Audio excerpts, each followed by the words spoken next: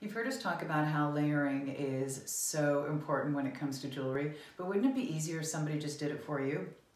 Hey, we did.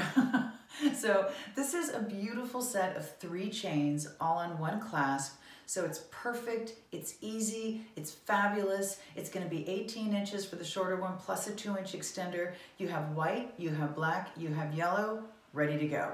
Bead chain, Byzantine, oval link, perfect layering, perfect textures, perfect sizes, perfect colors, and you put it all together for the perfect look.